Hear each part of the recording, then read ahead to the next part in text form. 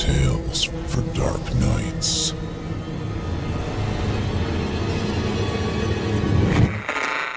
Want to make sure you never miss a Chilling Tales for Dark Nights video again?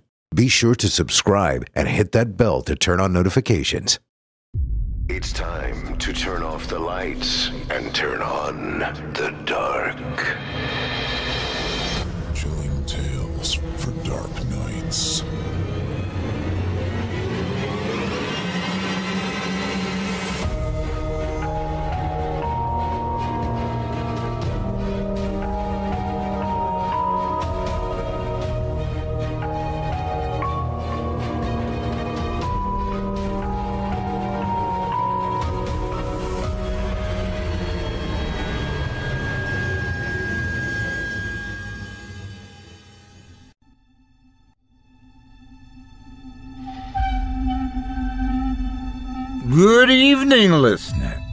You're listening to Chilling Tales for Dark Nights. On tonight's edition, we invite you to leave behind your safe reality and descend with us into the frightening depths of the most terrifying imaginations with two audio adaptations of frightening fiction about scattered states and reinforced regulations.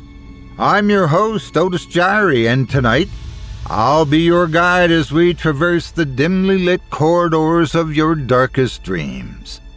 Joining us tonight to help bring to life the frightening fiction of James Vodrey and the Vesper's Bell are voice talents Nick Goroff, Terri Hudson, and Steve Taylor. Now, get your ticket ready, take your seat in our Theater of the Minds, and brace yourself. It's time to turn off the lights and turn on the dark. Our first tale this evening is written by James Vodrey and is performed by Nick Goroff. In it, our protagonist wakes from a nightmare and writes to calm their nerves.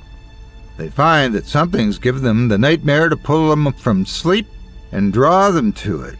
It feeds on them. When they awake again in the morning, suddenly changed, a part of their soul consumed. Now, without further ado, I present to you Shattered.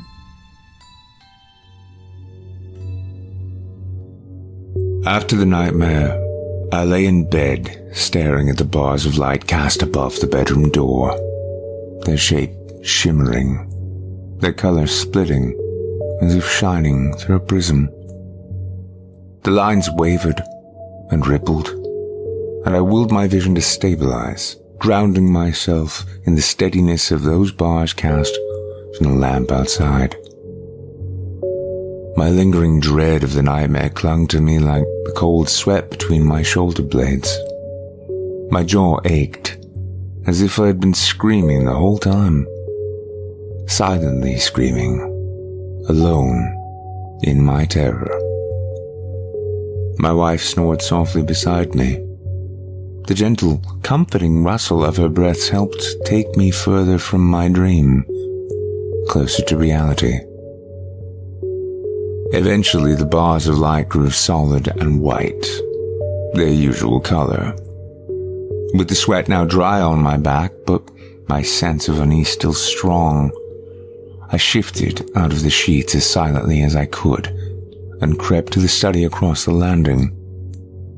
I knew I had to write something, to pour out my thoughts and ride out the chemical storm in my brain that insisted that I was somehow in danger, when the rational part of my mind knew this was not the case. As I write this now, I know the events of my dream were not real. I know that they were bizarre manifestations of my daily worries. I work in a stressful job, and this affects me in ways I never expected. So, occasional nightmares seem like a normal outlet. But this felt different. It had weight to it, a real sense of threat that I hadn't experienced before. It started, as dreams do, in a series of random events. A roller coaster ride through collected images and events, some real, some imagined. I can't recall them completely. But I eventually found myself on a beach. The sea was calm, and the fine sands golden in the warm light of the sunset. I was surrounded by friends, some of whom I hadn't seen in years. We talked and reminisced, the years of missed time between us seeming to fade away, leaving only the joy of old friends reunited. My own happiness cooled as I became aware of a sheer cliff face rising behind me at the edge of the beach. A looming grey wall of razor edged slate and cold echoing fissures. My friends were up there, climbing the sharp rocks, pulling them loose. A boulder bounced free, smashing close to them, but still they climbed and yelled to each other with excitement. My sense of danger grew. I shouted out for them to be careful. They ignored me and continued to clamber on the jagged cliff. At the top, a massive structure I hadn't noticed before loomed, black against the dusk sky, perched like a watchful vulture.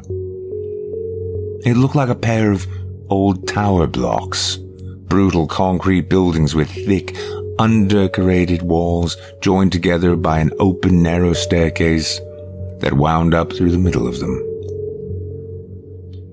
The sound of laughter faded in my ears.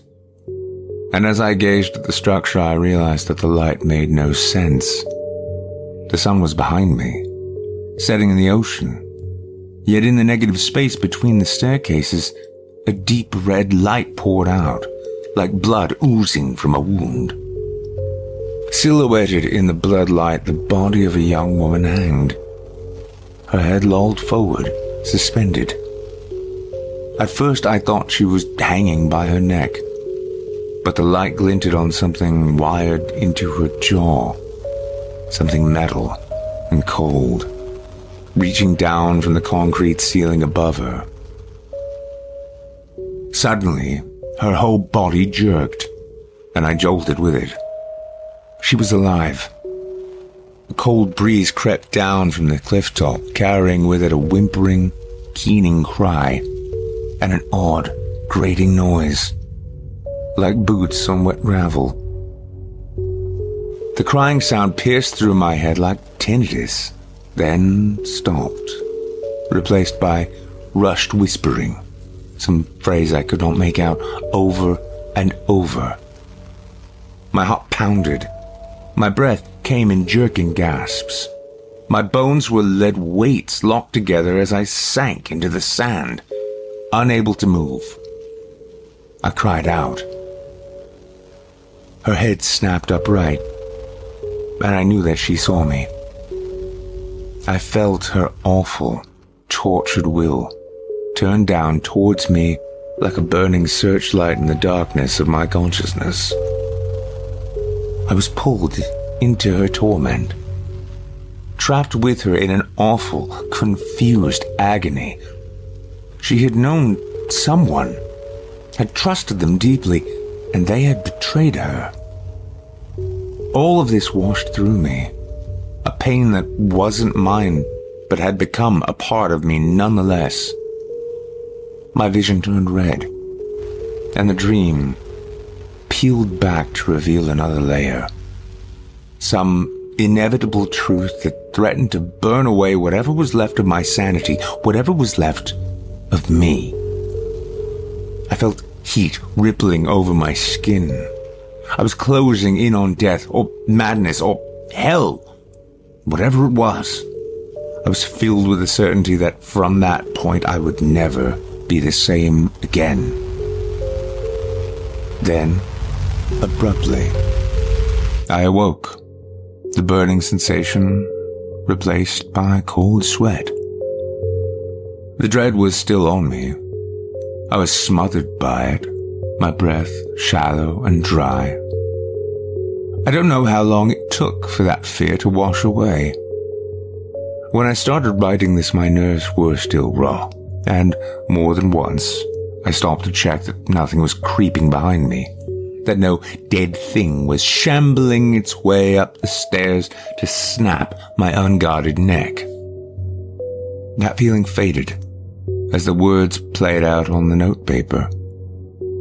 My plan worked. I stood and stretched, feeling significantly better, and decided to get a drink before trying to sleep again. I picked up my empty glass and headed for the stairs. The floorboards creaked with each step as I crept, the sounds distinct and familiar, each plank different to the other. But there was something else.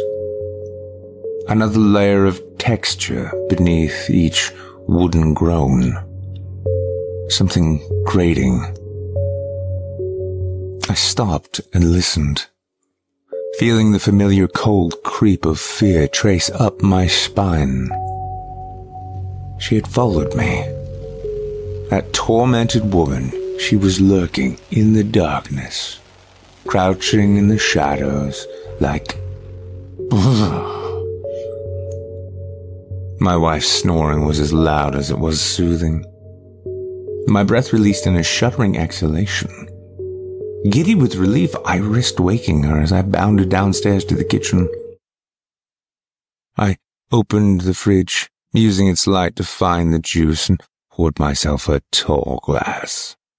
I drank greedily, relishing the tang of it, then refilled the glass to take upstairs.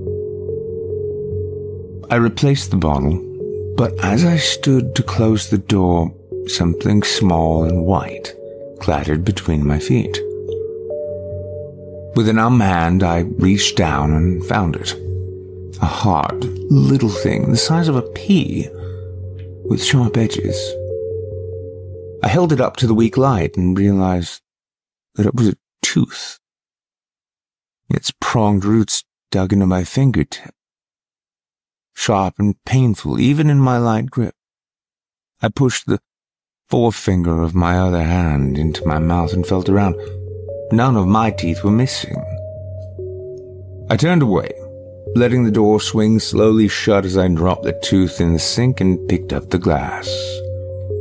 The fridge light shone from behind me for a moment as I walked toward the hall door.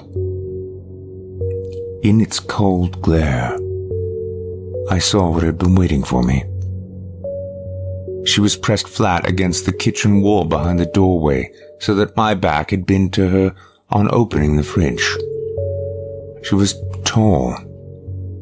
Her awful, long neck rose up high above me on jutting vertebrae that bent around the top of the doorway. A pale, gaunt face peered down from above the frame, its contorted jaw wired with crude, jutting twists of metal beneath dangling black hair that hung like wet vines over pitch black, staring eyes. The door closed, and the light went out. I froze, gripping the glass tumbler. The light had blinded me to the dark and I could see nothing but the kitchen doorway's vague shape and the shadows surrounding it. Shadows that hid the twisted shape of the waiting thing. My mind reeled into overdrive to tell me that I was seeing things, that the sprawled thing had been a trick of the light, a distortion of my own shadow. I think this could have worked I believe I could have convinced myself that I had imagined the whole horrific sight if it wasn't for the sound that came from the darkness above me.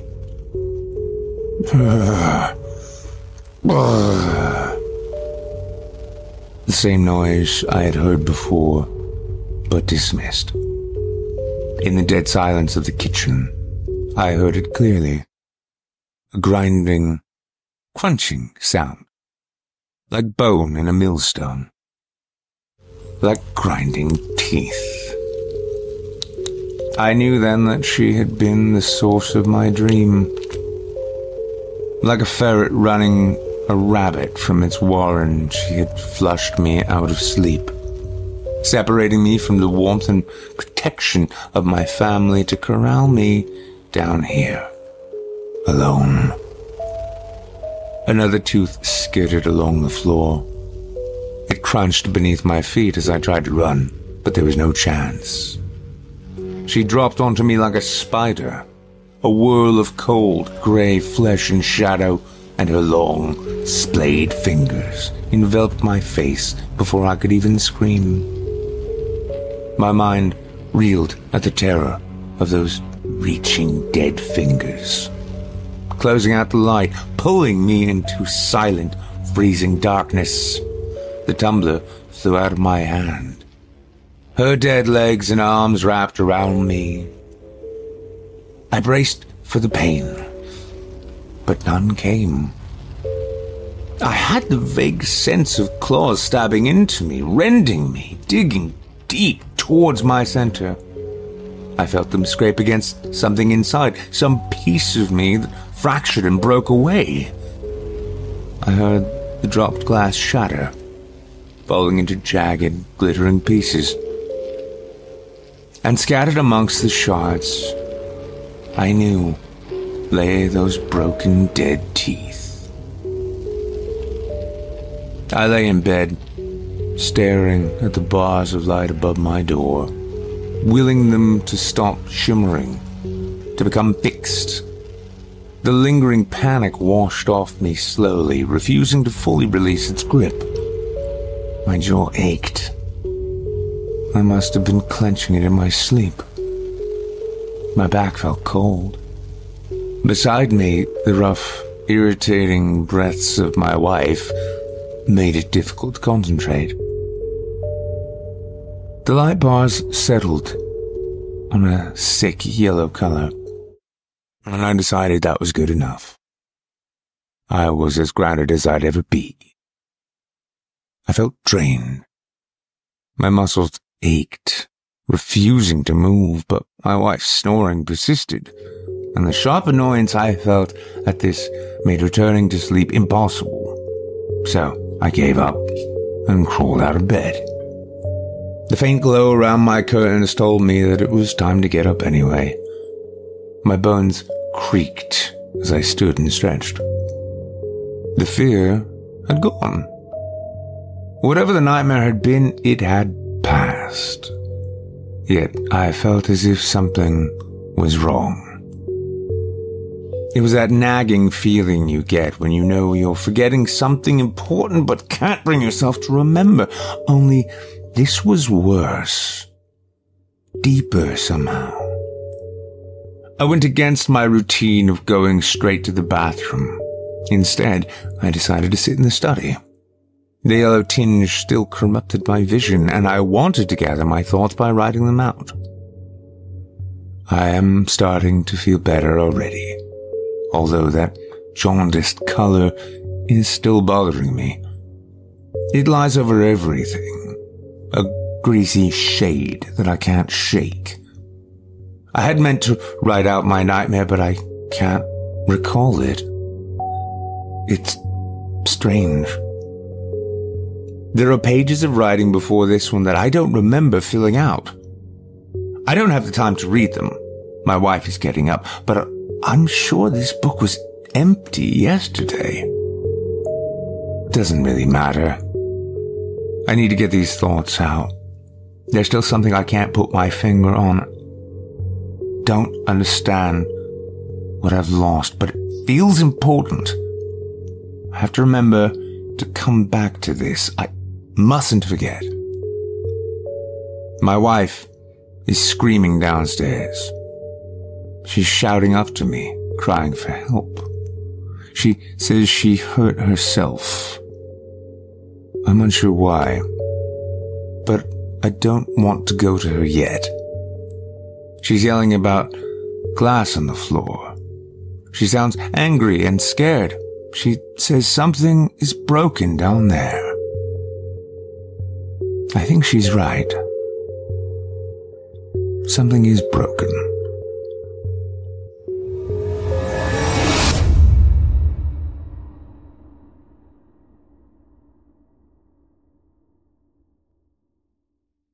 I hope you enjoyed Shattered, as written by James Vodrey and performed by Nick Goroff. Our second tale of the evening is written by The Vesper's Bell and performed by Nick Goroff, featuring Terri Hudson and Steve Taylor. In it, we experience an alternate reality we can all be thankful not to live in. Now, without further ado, I present to you Sleep Mask Mandate. Attention loyal citizen and or marginalized subject. There is presently an exponential rise in reports of sleep paralysis and other parasomnias within the region corresponding to your in-group central territory. As such, municipal health departments have logically been granted inimputable authority for so long as they deem necessary. Your innate in-group bias, municipal bylaws, thereby compel you to comply with public health measures intended to mitigate the severity of this crisis. Do not panic, as this is likely to increase the occurrence of sleep paralysis episodes and is therefore in violation of municipal bylaws. Avoid sleep disrupting activities as much as possible except in instances when doing so would negatively impact your local or national GDP figures. Refrain from discussing this crisis with others, as both the stress of this event and the power of suggestion are believed to increase the frequency and severity of sleep paralysis. Remember, we are all in this alone, together. Our initial mitigation strategy of a total sleep ban was the subject of much criticism and controversy. While these critiques were initially dismissed as anti-scientific and extremist rhetoric, subsequent peer review has determined that they do hold some merit. Concordantly, a sleep mask mandate is now in effect. Enclosed within this care package is one Eigengrau hypnagogic hypnopompic sleep mask. It is comfortable enough to wear all night and provides 100% blackout and noise cancellation. Please note that this sleep mask only prevents visual and auditory hallucinations during sleep paralysis episodes. Emotional hallucinations may still occur, if at any time you should wake up experiencing a sense of dread, terror, or panic, do not attempt to remove your sleep mask, as your inability to do so will only exacerbate your distress. Refusal to wear this mask to bed or attempting to remove it during a sleep paralysis episode is a violation of municipal bylaws. Noncompliance is its own punishment. For more information, simply dial the Dreaming Eye icon on your phone's keypad. It has always been there. You simply failed to notice it when it was of no use to you. Let's all keep our arbitrarily defined in group safe. Stay woke by sleeping sound. What the hell? I muttered to myself as I carefully read over the quixotic letter again. I found it when I checked my mailbox but there was no address on it. If the postal worker had dropped it off, it must have been a mass market thing. I was tempted to peek into my neighbors' mailboxes to see if they had received anything similar, but thought better of it. That was probably the kind of thing you could get evicted for. The letter had a logo of a dream catcher, with an eye in the center, but there was otherwise no identifying information on it. The font was cursive, which struck me as a very odd choice until I took a closer look and realized that I was looking at live ink. Someone had gone to the trouble of handwriting this. It couldn't have been a mass market. It briefly crossed my mind that this could have been a bioterrorist attack or something like that, but I highly doubted that I would be anyone's prime target. I was going to be exposed to anthrax. It would have happened as soon as I opened the letter. So, I didn't see what the point would be in going through the whole charade of a fake public health crisis. Whatever this was, I quickly decided that it had to be either a prank or a guerrilla marketing campaign. Carefully peering into the envelope, I cautiously stuck my fingers in and fished out the complimentary sleep mask contained within. The first thing I noticed about it was how incredibly black it was. It was almost Vanta black, which I guess was to help it block out the light. The only part of it that wasn't black was a white logo on the front. The same cyclopic Dreamcatcher logo that had been on the letter. It was made from a breathable, satiny material that was cool to the touch, and it was stuffed with a thin layer of foam. The head strap was broad enough to completely cover the ears, and there was additional padding around the eyes that tapered at the temples. I carefully inspected the mask for several minutes, sniffing, and gently prodding it for any sign of anything suspicious or malicious, but found nothing. It honestly seemed like a pretty high quality sleep mask. One that I would have been happy to receive as a free promotional item had it not been for the odd letter that came with it. I didn't see how it could possibly be a prank or an attack. So a stealth marketing campaign was the only thing that made sense. Convinced that neither my safety or dignity were in any real jeopardy, I slipped the mask on to see if it worked as advertised. The first thing I noticed wasn't the darkness, but the silence. Everything went dead silent and I had to pull the mask on and off my ears multiple times just to confirm the effect was real. I tried speaking with it on, and I was only able to hear my own voice through bone conduction. I put a pair of headphones on top of it, and I still couldn't hear anything. And when I put a pair of earbuds on underneath, it was like the sound of footsteps after a fresh snowfall. Somehow that thin layer of foam was absorbing all the ambient noise. I pinched it to see if I could locate any noise cancelling earbuds embedded inside, but as far as I can tell, it was just foam. It was incredible. The mask's full blackout was nearly mundane in comparison. Or at least it was at first.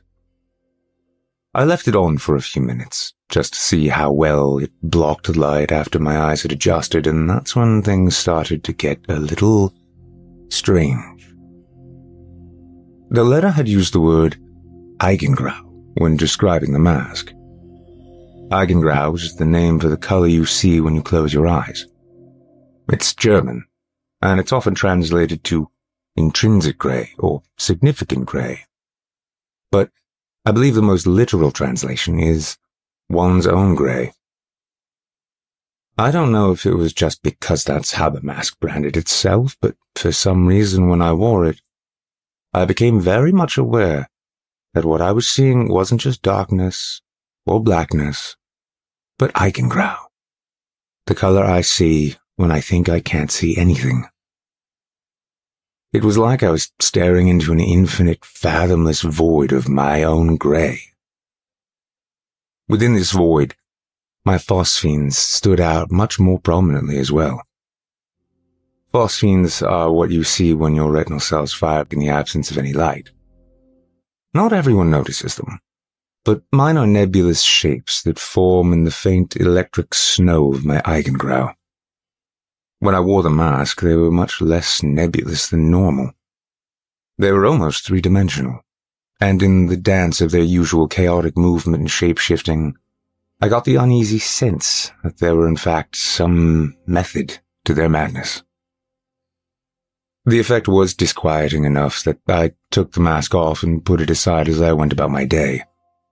When night came, I briefly considered trying the mask back on to see how comfortable it was to sleep in but the memory of gazing into the vast Eigengrau abyss of living phosphenes was enough to put me off the idea. That turned out to be a mistake. Because that night I experienced sleep paralysis for the first time in my life. I woke up and realized that I couldn't move anything besides my eyes, and panic immediately overtook me. I didn't initially think that it was sleep paralysis, just regular old paralysis. The letter from that morning didn't even enter my mind at first. I thought instead that I had either been accidentally or maybe even intentionally poisoned. I tried calling for help, but of course, I couldn't speak either. My eyes began darting around the room, desperately looking for any threat that might be lurking in the shadows.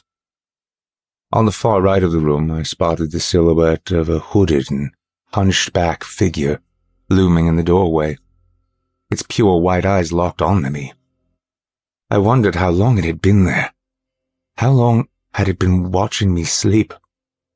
Did it even realize I was awake yet? Or that I could see it? If it did, why wasn't it reacting? I don't think I can properly convey in words the sense of absolute, uh, hopeless dread that came over me when I saw a bright white smile spread across its shadowed black face. My every survival instinct demanded that I get up and run or defend myself, but my racing heart and surging adrenaline were all in vain, as my body was still completely immobilized. My tormentor, on the other hand, made no sudden movements not because he couldn't, but because he didn't need to.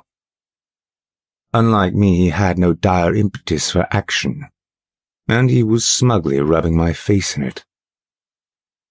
For the rest of the night, or what felt like it at least, we just stared at each other. I never took my eyes off of him for more than a fraction of a second to make sure there weren't other creatures lurking in the corners of my vision. He just stood there, staring and smiling. Standing so unnaturally still, I did at times question whether or not he was really there. When he finally did move, it was to hold up the sleep mask in his long, tattered fingers. With a wink and a nod, he tossed it over onto my bed before vanishing the instant the dawn's light began to creep through my curtains. When I was eventually able to move again, I immediately reached for my phone to call 911. That's when I noticed the one-eyed Dreamcatcher logo on my keypad, exactly as the letter had said I would. Since I was desperate to know what the hell was going on, I decided to press that instead.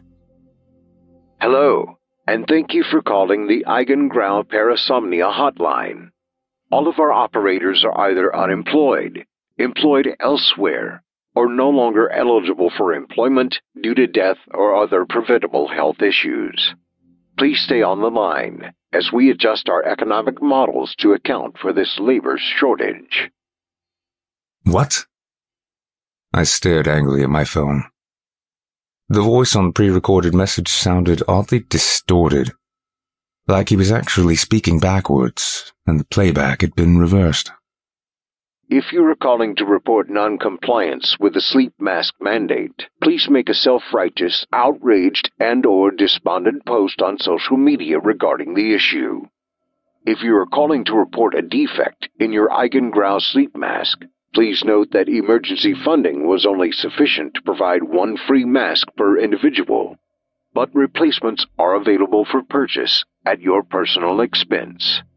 If you're calling because you have recently suffered a sleep paralysis episode, please stay on the line, and one of our helpful associates will inevitably be with you. The pre-recorded message ended with a sharp click as the audio switched to the Muzak version of Twinkle Twinkle Little Star on an infinite loop. I was listening to it for at least ten minutes before I was put through to someone. Hello and thank you for calling the Eigengrau Parasomnia hotline. My name is Zephyria. How may I be of assistance today? Is this a real person? I asked irritably, since that was the whole reason I had stayed on the line for as long as I had. No. The young woman replied in a cheery, perhaps somewhat taunting tone. But I'm not a robot, if that's what you mean. Are you calling for information regarding the sleep paralysis outbreak? There is no sleep paralysis outbreak. Oh, I already looked online and there's nothing going on. Sir, I believe it was Abraham Lincoln who said that you shouldn't believe everything you read on the internet. Communications regarding the outbreak are currently being suppressed by your municipal health department as the contagion is believed to be mimetic in nature. Please remain calm and comply with the instructions you received with your sleep mask. I know you're messing with me. I asked around yesterday and no one I spoke to got one of your damn sleep masks. I never had sleep paralysis until last night. How the hell did you do it? Did you put something in the envelope? Sir, I want to help you, but you're becoming irrational. You claim we're lying, but admit that you've recently suffered an unprecedented episode of sleep paralysis. Did you wear the mask we sent you? No, I didn't wear the sleep mask last night. That's why the mandate is in effect, for your protection. There's an outbreak of sleep paralysis and other parasomnias in your area at the moment, and you've been affected by it. We aren't causing it, we're responding to it. How is that possible? How can there be an outbreak of sleep paralysis? Mass psychogenic illnesses are a very real phenomenon, sir. Medieval Europe famously had several outbreaks of dancing plagues, for example. Unfortunately, the immaterial nature of the vector makes it rather difficult to trace. What we do know is that you've been exposed. As I mentioned, this is believed to be a mimetic contagion, which is why no one else is willing to talk to you about it. To avoid spreading it to others, please only speak about it with designated Eigengrau personnel like myself. Wear your sleep mask, and you shouldn't have any more episodes of sleep paralysis. If you guys are legit, then what the hell was with that weird ass letter you sent out? Or the recorded greeting I heard when I called for that matter? Yes, sir. I realize those may have been less than optimally worded. Due to the suddenness of the crisis, our public outreach campaign was rather rushed. Any irregularities in any of our messages you heard or read are a result of our campaign director's lack of fluency in the English language and our inability to properly vet them before they were sent out. We're doing our best to avoid a repeat of such issues in the future. I. I began before trailing off. I wanted to call her out again. But in my stressed out and sleep deprived state, everything she was saying seemed oddly plausible. Sir, I realize you're tired and scared, which is perfectly understandable.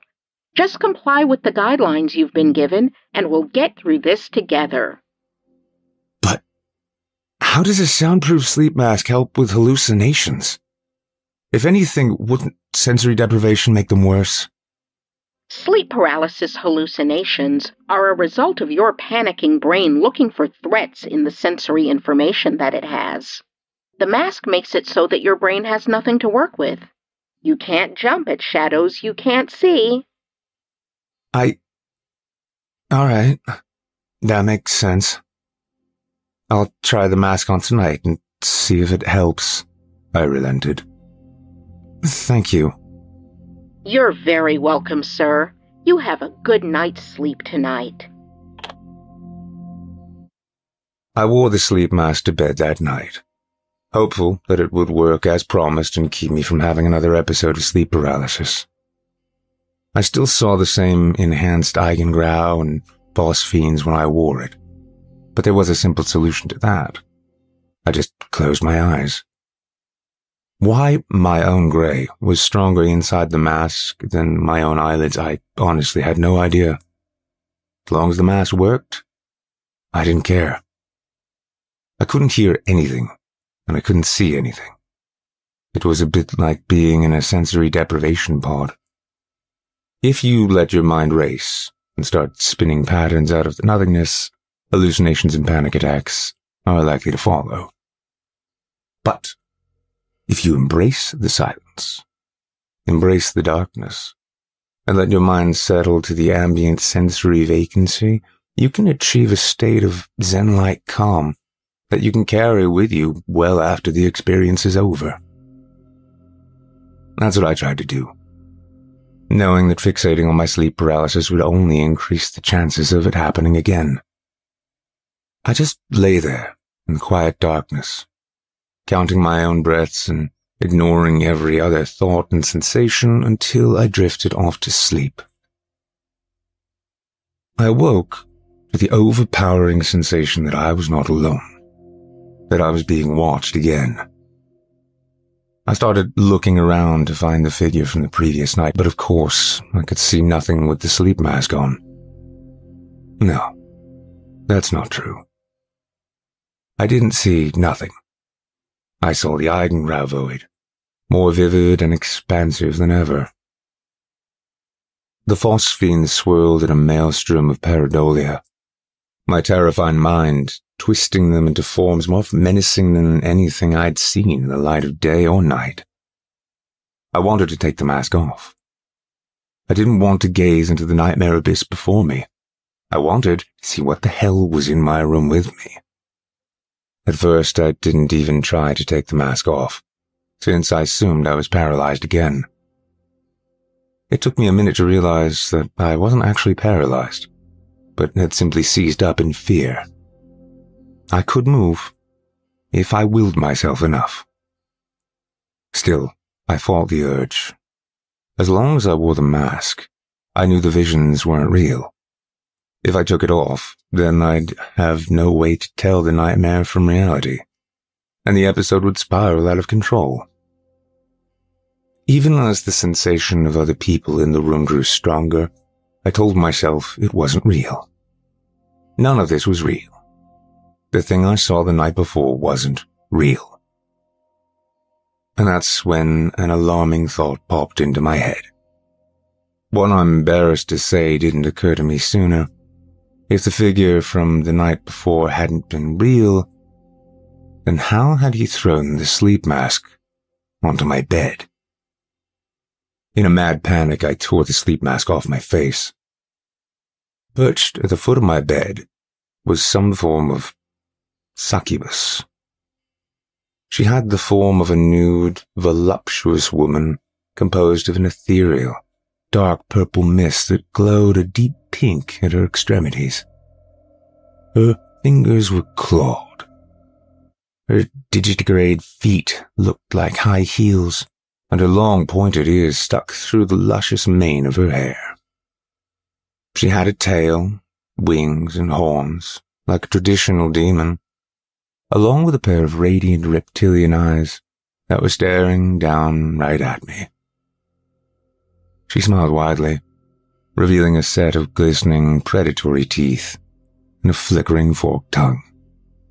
Ah, still can't sleep?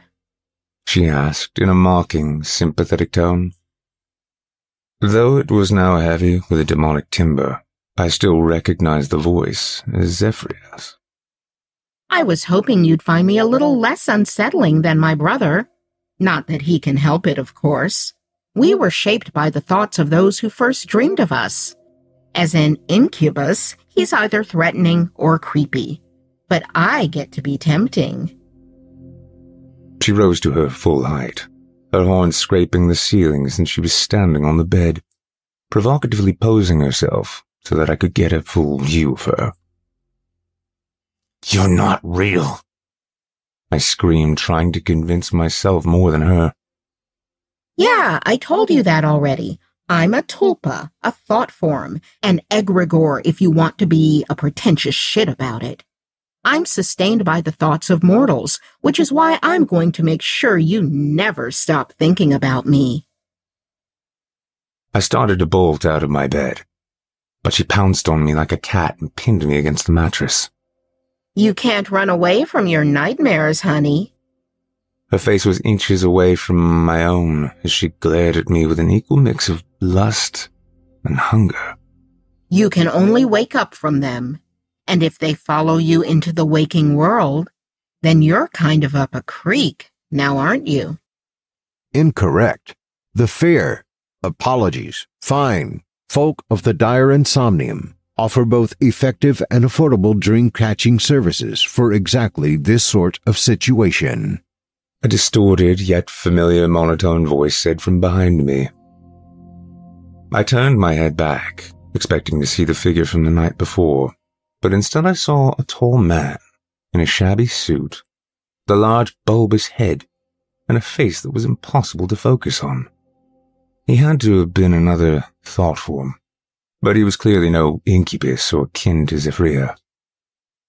Has this ever happened to you? He asked dramatically, theatrically gesturing towards me with one hand. It sounded rhetorical, but when he didn't follow up with anything else, I assumed he was actually asking. Yes, yes, it's happening now. Trying to enjoy a good night's rest only to be assaulted by a sexually threatening and or alluring sleep paralysis demon? The fair, fine folks at the Dire Insomnium can help. Using dream catching techniques wrongfully appropriated from First Nations tribes, the dire insomnium can weave an incorporeal dreamcatcher powered by your own subconscious thoughts, which will provide foolproof protection against such unwanted incursions into your mindscape. In exchange, we require a mere tithe of your unused dream energy to be siphoned off to power the insomnium's machinations and or acts of philanthropic goodwill. I recognize your voice. You're the recording from the hotline. You two are working together. Busted. Don't worry about him, love. He's just a traveling salesman looking to make a buck. You don't want to kick me out of here, do you? We could have so much fun together. I tried pushing her off me, but she was more than impossibly strong. She was immovable. You can really get rid of her? And the other one? I demanded of the strange man by my bed. Indeed. The dire insomnium knows better than most the value of a good night's sleep, and is eager to bring the sleep paralysis outbreak to an end. If you agree to my terms, I can deploy the Dreamcatcher immediately. Solomon, you are being a real cockblock right now, so why don't you bugger off and... Yes, yes, I agree. Just get rid of her. Seriously? You consent to having your mind pumped dry for a chastity belt rather than spend a night with a succubus? Unbelievable. She sighed in frustration as she pushed herself off of me. I tried to get out of bed again, but this time it was Solomon who caught me. He held my head still with one hand while using the other to strap the mask back on. The municipal sleep mask mandate must be observed before I can legally proceed. Please count backwards from the number of sheep that ever have or will exist. And before I could object, I fell asleep. I haven't had an episode of sleep paralysis since, or any more encounters with any tulpas. I still wear the sleep mask, though, and I still see the sea of Eigengrau when I do. My phosphenes reveal the outlines of strange scenes I can't quite make sense of, so I keep my eyes shut as much as I can. I don't know exactly what Solomon did, but I know he put something inside my mind that's tapping into my subconscious. I can feel it grinding away in there, and I'm not sure what effects it might be having on me. The worst part of all of this is that I know I was hustled. I know that Solomon and Zephyria were working together. She only got into my head in the first place so that I would let Solomon do anything to get her out. I don't think he actually gave me any kind of dream catcher. I'm just paying projection now. If Solomon ever wants me to upgrade my subscription, all he has to do is tell Zephyria to pay me another visit. That's why I still wear the mask, if you were wondering. I think there was some truth in what Zephyria told me, and that she and her brother can't manifest strongly enough to do me harm if I can't see or hear them. So, if you ever receive one of these sleep masks in the mail, my advice is for you to wear it every night. And don't take it off, no matter what you think might be lurking by your bedside. And it is a municipal health department mandate, after all.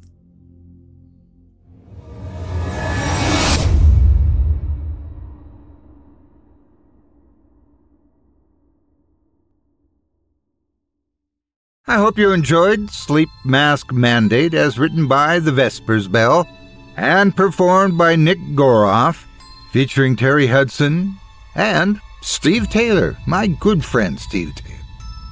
More of the Vesper's Bell's work can be found right here on our very own network. On to the show. Longtime resident, Otis Jiry, that'd be me. Well, I got my own show here on our network as well, Scary Stories Told in the Dark, which you can hear every Sunday night. We also have Eric Peabody's Horror Hill, a podcast dedicated to some of our deeper and darker tales. We hope you check them out and Drew Blood's Dark Tales airs on Fridays, featuring some southern down home horror. And don't forget to check out The Fear from the Heartland Archives, featuring more than 120 episodes. Well, friends, our weekly descent into the depths has just about come to a close. But before we go, I'd like to take a moment to thank you for joining us for tonight and to remind you to take a moment to stop by our iTunes page and leave Chilling Tales for Dark Nights a five star review and a kind word, and to follow us on Facebook, Twitter, and Instagram if you haven't already. And of course, subscribe to us on YouTube, where you can find an archive of our work going back to 2012. And consider signing up as a patron at our website chillingtalesfordarknights.com to show your support and get all of our content ad free. I'm your host for the evening, filling in for Steve Taylor, Otis Jiry, and as always, it's been a pleasure. Tune in again next week when we once again turn off the lights and turn on the dark. Sweet dreams, listener, sweet dreams. Chilling tales for dark nights.